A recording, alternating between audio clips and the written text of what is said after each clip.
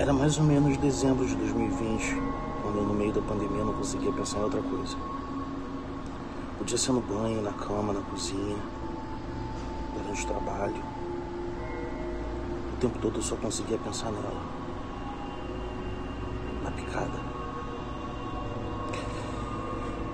No meio de uma quarentena maluca, cheia de altos e baixos, eu só queria sentir aquela coisa dura entrando em mim despejando líquido.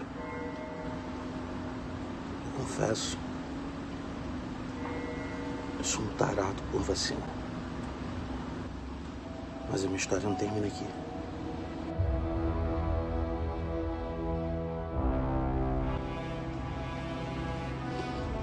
E eu vou te contar tudinho